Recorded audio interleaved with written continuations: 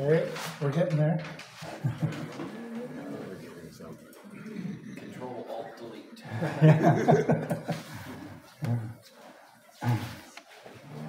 No signal.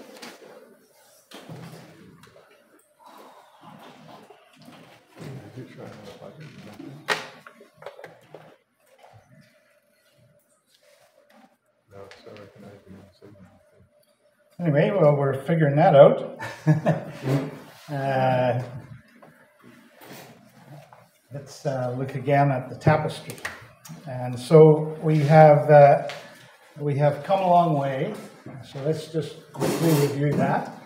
Uh, we saw that God created a kingdom in which uh, He had a uh, theocratic administrator, a paraffin, and uh, they uh, were responsible for managing what God had given.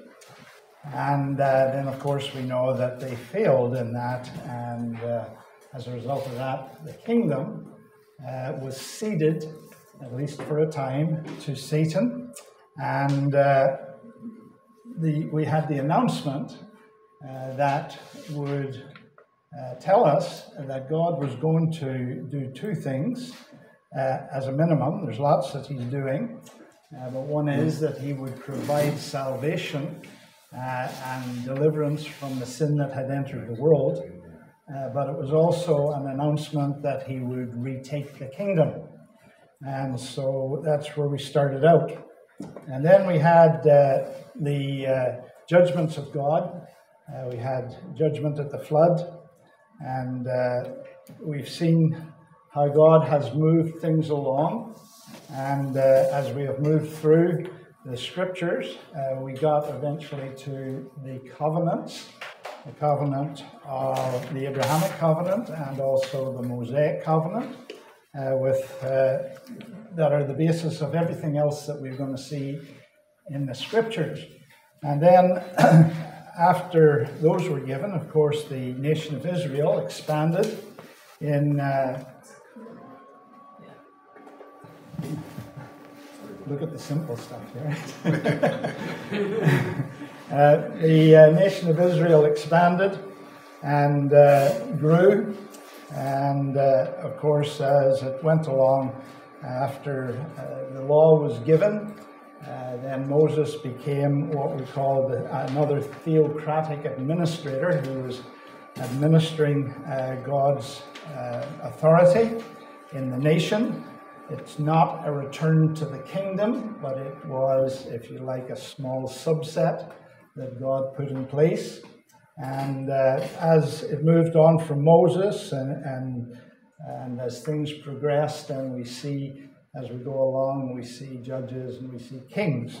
And of course, at every point, uh, they failed. Uh, so the nation failed under Moses and uh, spent 40 years in the wilderness until the unbelieving generation died. And uh, as well as that, uh, failed under Joshua uh, because they never fully secured the land of promise, even though there was a certain amount of success in their uh, campaigns. And then uh, the nation also underwent cycles of failure under the judges. As you go through that, you see this cycle over and over again of uh, being restored uh, under a judge, and then failure, etc., and then back into the cycle again. And then uh, it started with a king, and of course they failed under Saul. And then we had David, who was after the heart of the Lord. And so, as a nation, there was some success uh, as a nation. And uh, then Solomon, of course, followed, and they had a period of relative peace. Uh, but yet, they never uh, took possession of the whole land uh, never took possession of all of the promises of God in uh, the Abrahamic covenant. And they failed continually uh, with regard to the Mosaic covenant, the law. And uh, we do that as well. And so that brought us uh, this morning to the times when the nation was uh, judged by the Lord, and Assyria took the northern nation, and Nebuchadnezzar took the southern nation into Babylon. And so we have this period now that has begun uh, under uh, from the time of Nebuchadnezzar, uh, the time of the times of the Gentiles. And so we're still in the fifth dispensation. And I moved that and I didn't even realize that was up. so, anyway, we get into the book of Daniel and we find that Daniel is given a number of prophecies uh, as you go through the book of Daniel. And uh, this particular prophecy uh, will take us into New Testament times.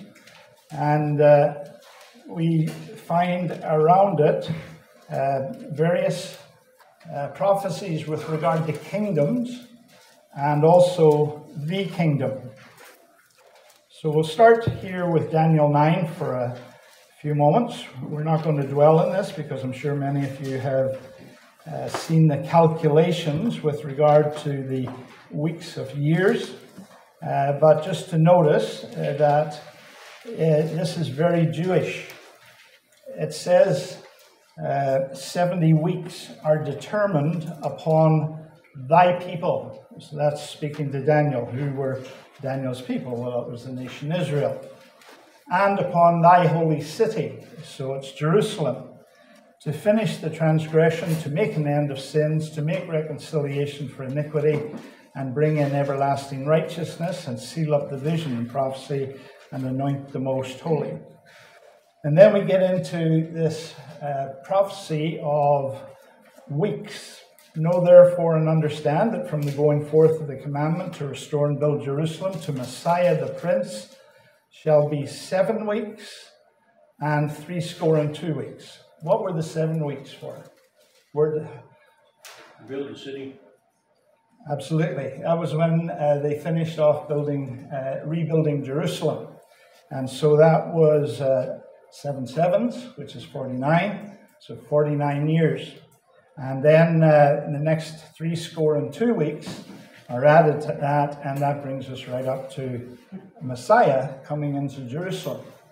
And if we are to go with the calculations of Sir Robert Anderson, uh, that would take it to the very day that the Lord rode into Jerusalem on the donkey and uh, was hailed uh, by the people.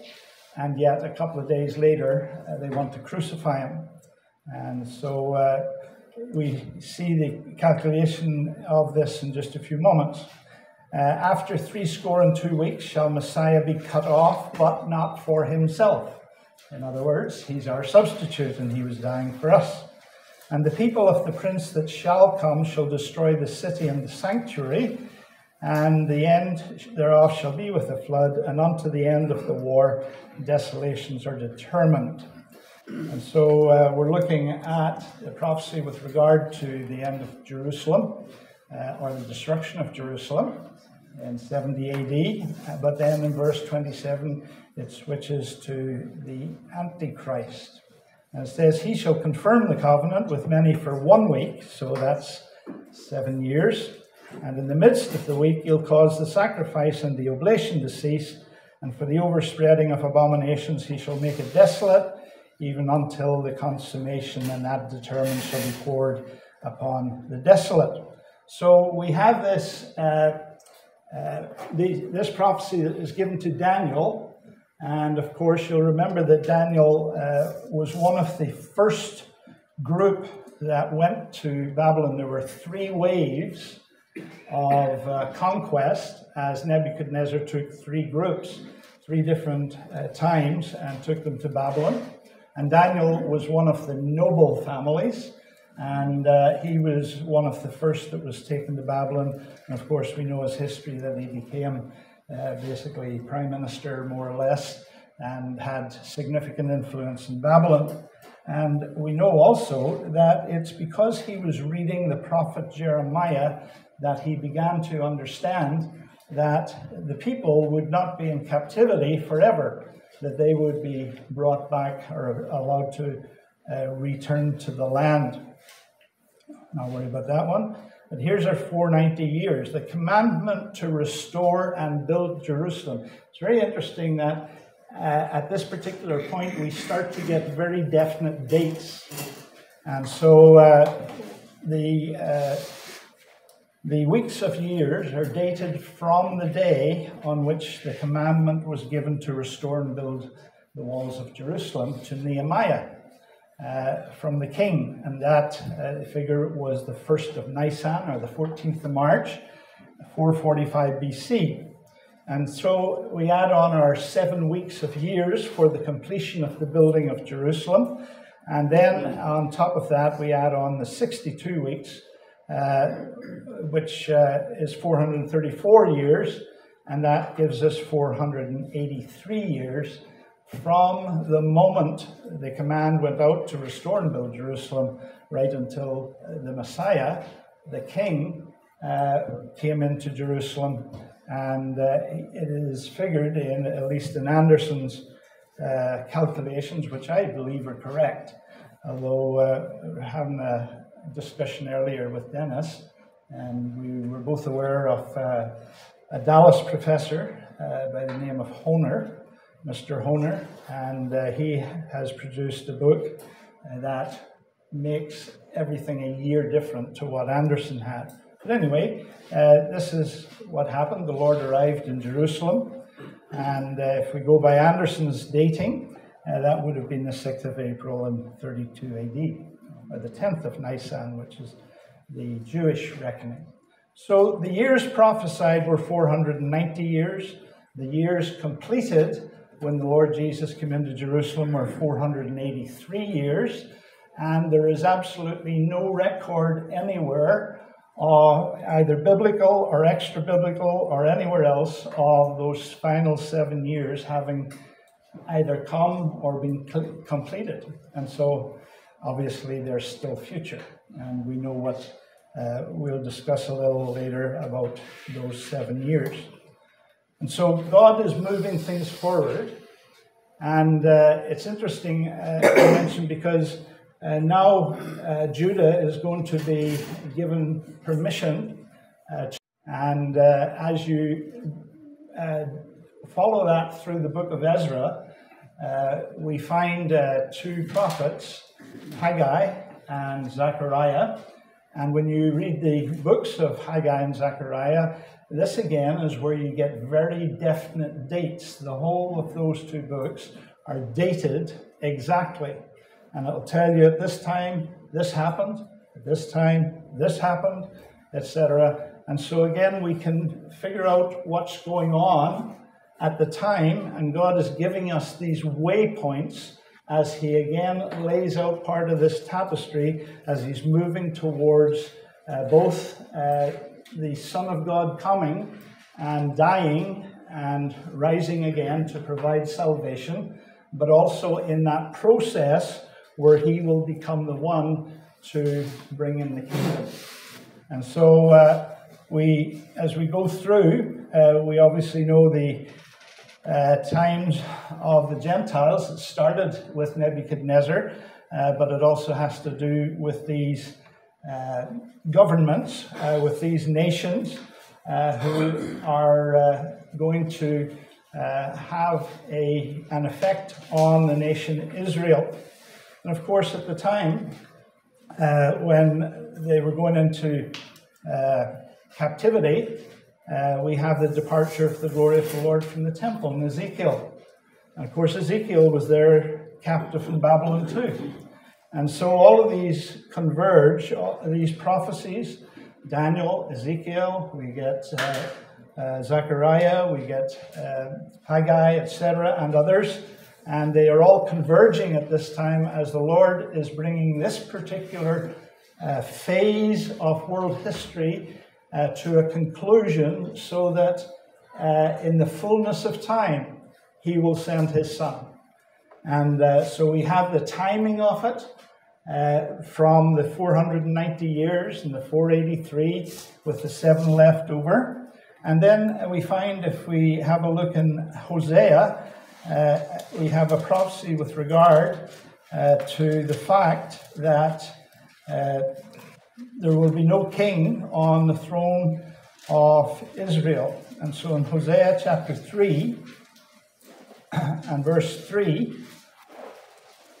it, and uh, of course, Hosea has to do with Hosea and Gomer, so it's all in the in the context of uh, that life uh, that the Lord asked Hosea to lead uh, with regard to Gomer. And in verse 3 it says, I said unto her, Thou shalt abide for me many days, and thou shalt not play the harlot, and thou shalt not be for another man, so will I also be for thee. And then in verse 4, For the children of Israel shall abide many days without a king, and without a prince, and without a sacrifice, and without an image, without an ephod, without teraphim. And afterward shall the children of Israel return and seek the Lord their God and David their king, and shall fear the Lord and his goodness in the latter days. And so here we have this prophecy again that's indicating that from this time, uh, because you'll remember uh, that Warren talked about the last king Zedekiah, and uh, he, uh, as, as they went along, there was the curse, and so the line from which Messiah would come jumped from Solomon's line to Nathan's line. And so, even though it has jumped, there is still not going to be a king on the throne. The line will continue, but there will be no king reigning on a throne for Israel. And so, as it goes through, it goes through the times of the Gentiles, and the whole of the times of the Gentiles, there is no king or prince in Israel. And so we can't expect to see a king or a prince, uh, for instance, popping up in Israel in our day. Uh, but certainly, uh, when the Lord returns, then they will have their king and a prince also, which we'll mention that later perhaps. And so we have this term, the times of the Gentiles, and the times of the Gentiles refer to those times when basically Israel is under, if you like, the boot of the Gentile nations. And of course, uh, after the time of the Lord Jesus and when Israel uh, was sacked by uh, General Titus from Rome in 70 AD, and then further, uh, there was further deportations of Jews in, I think it was the 130s. And so at that time, the Jews were spread across the world and did not have a country. And of course, we know that that continued until 1948, uh, when again uh, a country was established. And of course, that is a significant uh, event in the na- nation's history uh, because that event indicates that God is once again starting to work with the nation Israel. Not with individual Jews. They're, they've always had salvation uh, available to them individually, but as a nation. And so uh, in uh, Luke chapter 21, uh, we get this term, the times of the Gentiles. And as you go there in verse 24, you will see that it's the Lord Jesus himself who uses that term. Uh, in verse 24, it says, They shall fall by the edge of the sword and be led captive into all nations, and Jerusalem shall be trodden down of the Gentiles until the times of the Gentiles be fulfilled. So, in that, uh, not only does the Lord uh, tell us that there's a period that he names the times of the Gentiles, but he's also telling us that that time will have an end. It does not go on uh, indefinitely, but uh, it will go on and something will bring it to an end, uh, which we will see is actually the return of the Lord to the earth himself. And so uh, in uh, Revelation 11, and verse 2.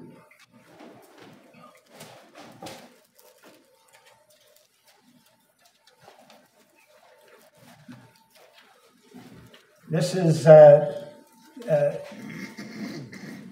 one of the times out in the book of the Revelation. Uh, the uh, chronology, as it moves through, at times stops for a moment to give us a whole bunch more information on some things. And so uh, in verse 1 it says, There was given to me a reed like unto a rod, and the angel stood saying, Rise and measure the temple of God, and the altar, and them that worship therein. But the court which is without the temple leave out, and measure it not, for it is given unto the Gentiles, and the holy city shall they tread under foot 42 months. And so here is a, uh, as we're moving towards the end, we're in the tribulation, and as we're moving towards the end of the tribulation, uh, we find that the Gentiles will be able to tread underfoot the temple. Now, what temple? Well, there is no temple there.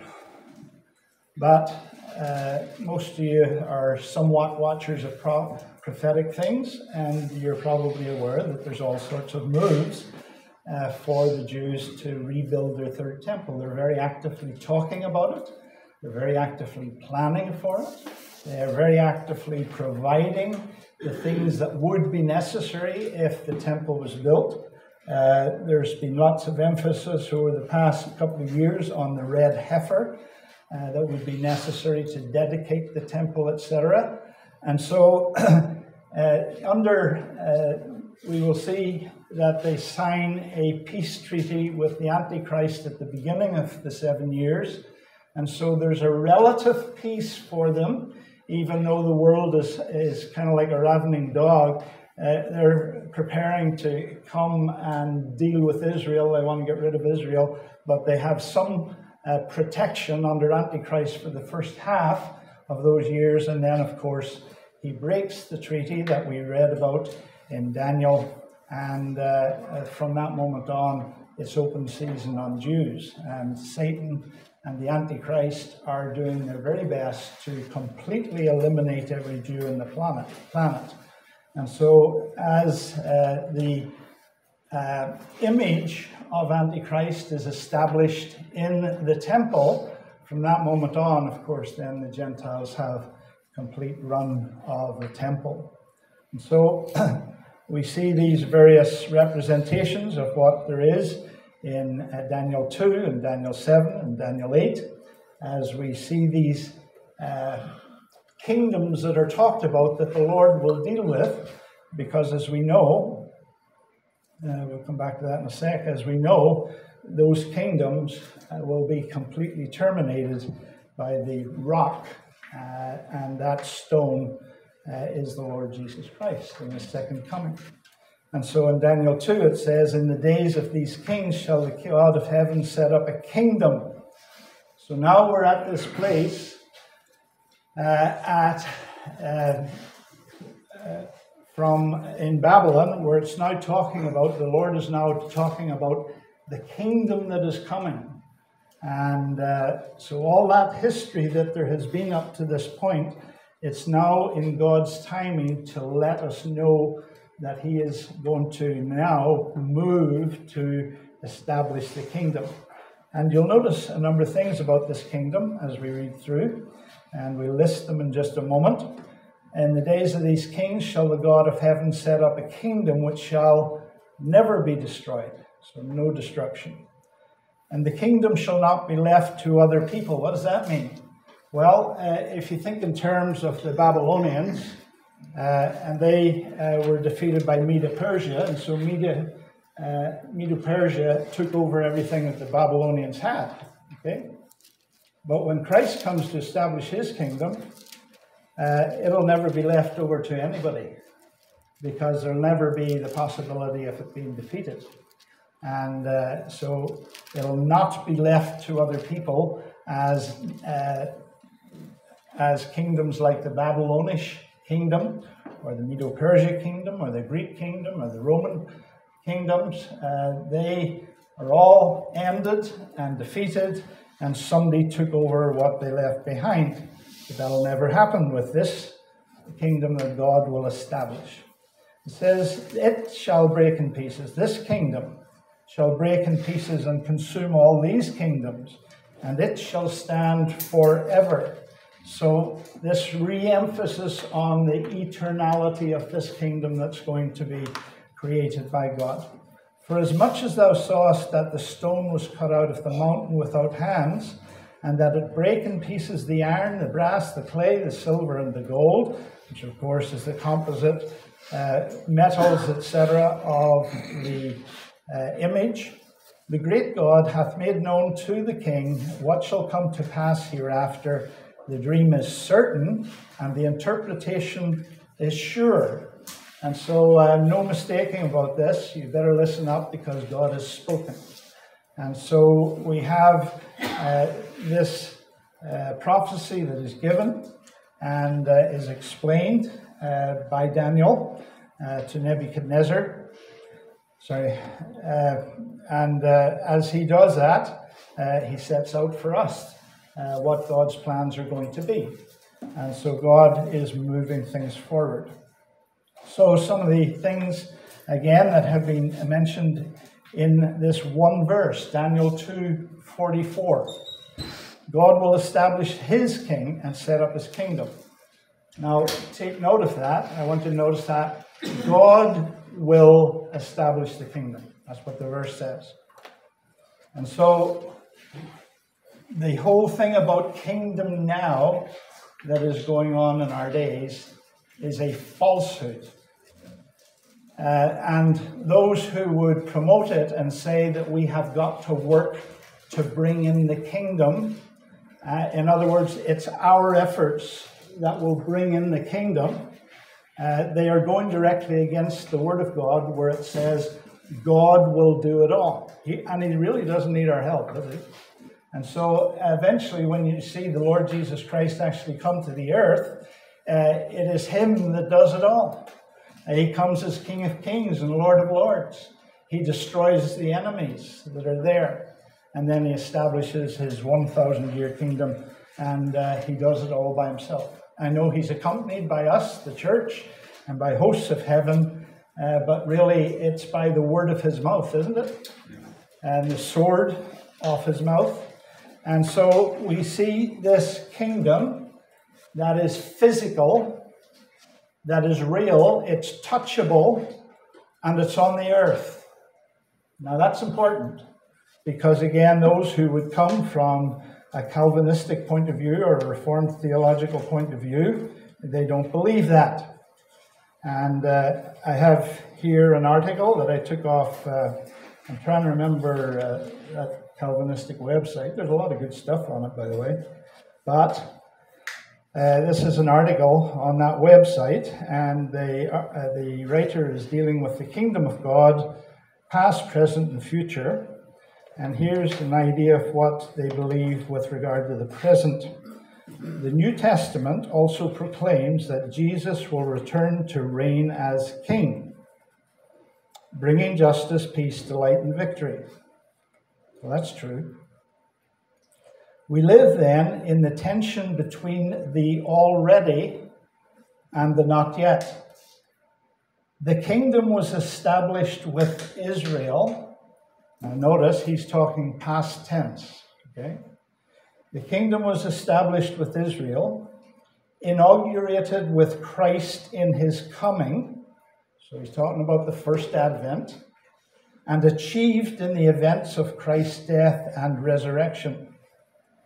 Even though the kingdom effects have begun, their full results await Christ's return.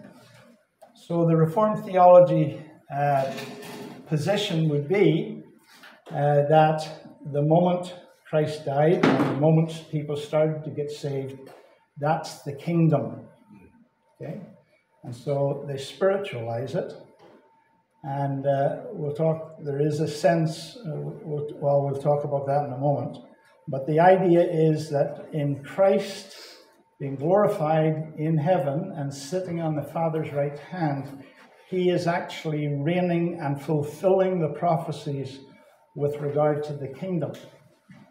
But when we go through, we will see.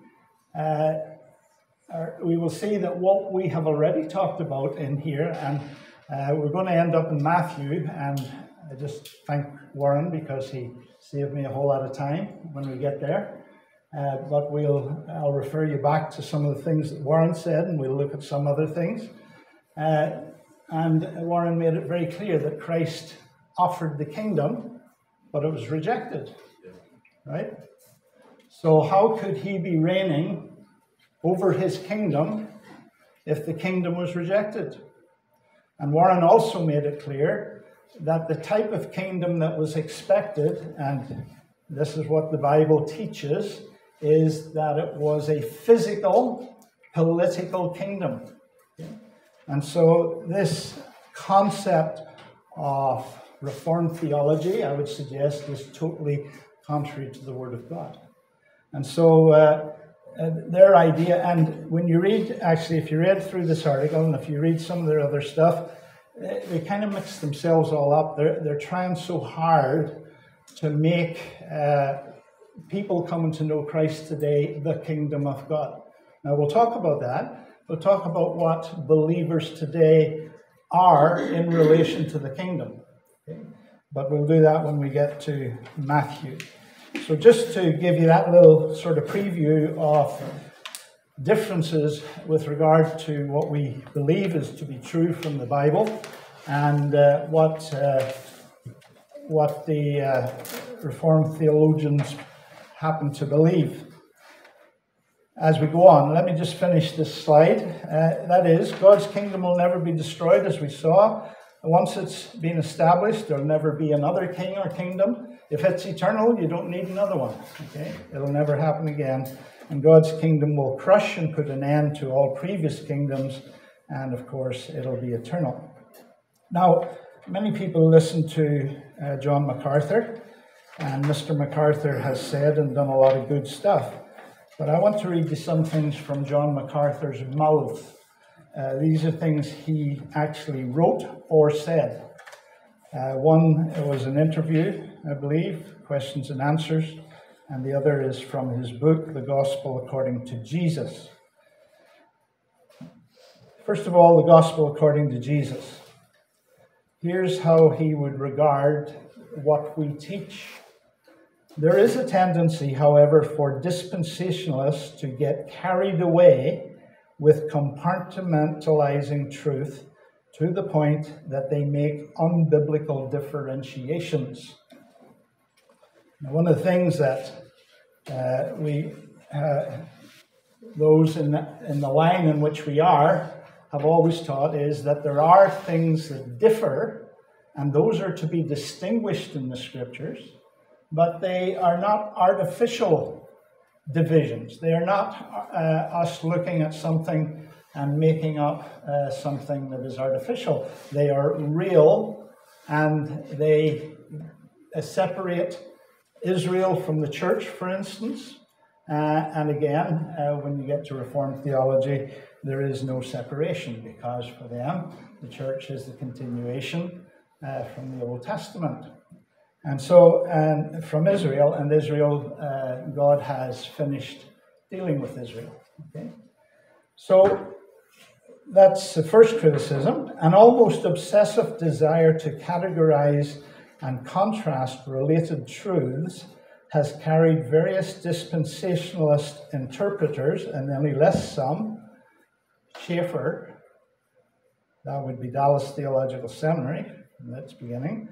Uh, it's changed a lot now, but way back it's, uh, it was pretty solid. And Ryrie, Ryrie is a key person when it comes to uh, various things, Hodges, etc. And uh, it's carried various dispensationalist interpreters far beyond the legitimate distinctions between Israel and the church. So, here what he's saying he's saying there are distinctions between Israel and the church. And uh, we'll explain his view in a minute when we read uh, what he said in an interview. Uh, many would also draw hard lines between the salvation and discipleship in brackets justification and sanctification, and hard lines between the church and the kingdom, Christ preaching and the apostolic message. In other words, what he's saying there is what Christ preached when uh, Warren went through last night and uh, said that Christ uh, preached the gospel of the kingdom and sent out his disciples to preach the gospel of the kingdom and told them not to go to anybody except to the nation of Israel. Uh, and, and, so uh, John MacArthur is saying uh, that Christ's preaching in the gospel of the kingdom is exactly the same as the apostolic message, which is the gospel of grace. Okay, so no, no division between them. Okay, faith and repentance, and the age of law and the age of grace. Now, here's uh, in his questions and answers where he's uh, he was answering them on uh, recording. So this is him speaking uh, without forethought, uh, being asked a question. And he says, I was raised in a dispensational environment.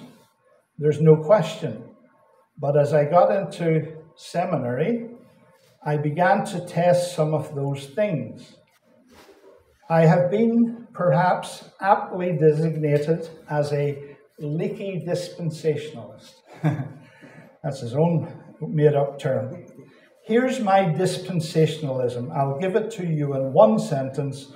There's a difference between the church and Israel, period. Now, he doesn't say what that difference is. He's already said in his book uh, there doesn't seem to be much of a difference between them. Uh, so you take him at his word, uh, and you can choose which word to take the book or when he's answering in person. At the same time, in seminary, I began to be exposed to reading among more reformed theologians, and over the years of exegeting the scripture, it has again yielded to me a reformed theology. I was convinced of it, that is, Reformed theology, when I started, and I'm more convinced of it now as I've gone through the text. Now, listen carefully to the reason he holds to Reformed theology. I was convinced of it when I started because I read so many noble men who have held that view. Okay? So it's not because of the scriptures, it's because of the noble men who hold the view. And, but then he follows that up. He says, It was more at that point hero worship, and now it's become my own. So, again, if you listen to MacArthur, be very discerning in what you're listening to. Uh, there is much good that he says and has said, uh, but you need to be very careful because you know exactly where he's coming from. Okay? Pardon? A little leaven. Yeah. You can think about this one. If we believe what we believe about salvation, etc., does Reformed theology fall into the category of what, talk, what Paul talks about in Galatians, another gospel? Anyway, I'll leave that with you. You can think about that one. So, we've seen the times of the Gentiles. Now, what's the purpose of the times of the Gentiles? It's about God judging Israel. Sorry, looking at the time. Are we out of time? 6.30, 50 minutes. I think we still got time. It's about God judging Israel uh, and Jerusalem by bringing it under the oppressive hand of Gentile government. That's what the time of, of the Gentiles is about. Now, why why is there the times of the Gentiles? Well, if we go back to Ezekiel chapter 16, uh, we will see the extent of Israel's sin and the reason God brings judgment. So, Ezekiel 16 and verse 48. And it is, uh, he's talking about Israel and Judah, the two, uh, the two kingdoms and they are being categorized as Sodom uh, and a sister. Uh, so, as I live, saith the Lord, Sodom thy sister hath not done, she nor her daughters, as thou hast done, thou and thy daughters. Behold, this was the iniquity of thy sister Sodom. Pride, fullness of bread, abundance of idleness was in her, and in her daughters, neither did she strengthen the hand of the poor and the needy. And uh, in verse 51 it says, Neither hath Samaria committed half thy sins. So what he was talking about was Judah. And neither hath Samaria committed half thy sins. You hear what God's saying? Samaria got judged first because of her sin. But now that it's time to judge Judah, you guys are even worse than your sister, Samaria. Okay? In fact, uh, if we had read earlier where Assyria came in and uh, took away uh, the northern kingdom, we would have found that Samaria, uh, Assyria, sorry, uh, and uh, we would have found that Assyria also started to move against Jerusalem, in other words, Judah, but God held them back. And so now it's time for Judah's uh, judgment. And in verse 51, neither has Samaria committed half of thy sins, but thou hast multiplied thine abominations more than they, and hast justified thy sisters in all thine abominations which thou hast done. So, what's the picture? Well, we've got to this picture of the nation uh, being uh, judged and disciplined. And in the midst of that are these prophecies that are going to move God's plan forward. And we have the 490 years and the 483 of them that bring us to the advent of Messiah, uh, uh, uh, actually towards the end of his, his ministry. And, uh, so, and God is now talking about kingdoms and destroying earthly kingdoms, uh, kingdoms that are motivated by the enemy, by Satan, and he's going to establish his kingdom. And so, as we move forward and we come into uh, this time, uh, when the Lord Jesus will come, we will see why he comes and does nothing else initially except preach the gospel of the kingdom. Because this is all in God's plan as he moves forward, both to uh, provide salvation in the death and the resurrection of the Lord Jesus, but also to deal with this matter of the kingdom that was stolen back in the Garden of Eden. Now, you have to make a difference between uh, the times of the Gentiles and the fullness of the Gentiles, and we'll deal with that and then stop here for questions, etc. So, in Romans chapter 11, and so when you mention chapter 11, you should know that 9, 10, and 11 has to do with why God sets Israel aside for a time and the church comes in. And so in Romans 11 it says, I would not, brethren, that you should be ignorant of this mystery, lest you should be wise in your own conceits, that blindness in part has happened to Israel until the fullness of the Gentiles comes in. And in the, uh, another translator by the name of Mounce, uh, he puts it this way a partial hardening has happened to Israel until the full number of the Gentiles has come in. And uh, the old standard, W.E. Vine, in his dictionary, he says the completion, uh, that its fullness of the Gentiles is the completion of the number of Gentiles who receive blessing through the gospel. And so, what it's talking about is this age in which we are in, this age of grace, uh, in which the church exists, uh, God has a finish point for that. And of course, we know that that will be the rapture. But the rapture will not happen until the number of Gentiles who are going to be saved have been saved. And when that number is complete, then the rapture occurs.